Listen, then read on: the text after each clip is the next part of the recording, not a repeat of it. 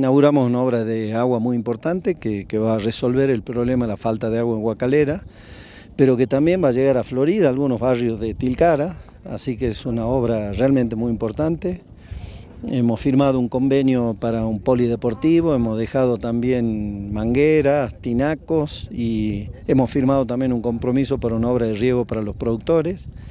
Eh, y hemos participado en lo más importante, que es el Día de la Bandera. Hemos hecho el acto central del Día de la Bandera acá, en Huacalera, así que eh, han jurado la bandera efectiva del ejército y, también hicieron su compromiso los chicos de cuarto grado.